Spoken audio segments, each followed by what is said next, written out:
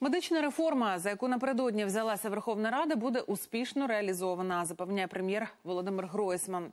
На засіданні уряду він наголосив, що ці зміни передусім в інтересах українських громадян.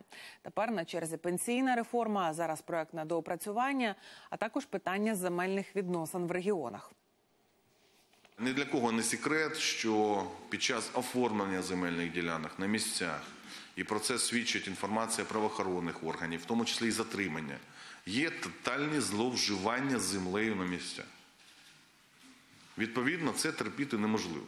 І треба приймати рішення для того, щоб скасувати будь-які можливості будь-якого чиновника на будь-якому місці зловживати е, земельними, е, е, земельними ресурсами.